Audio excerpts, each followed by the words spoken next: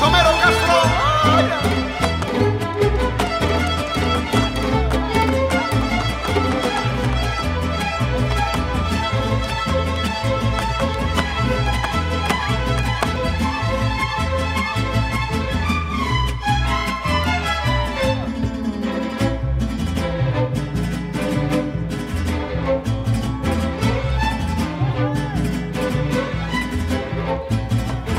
así se toca de noche y de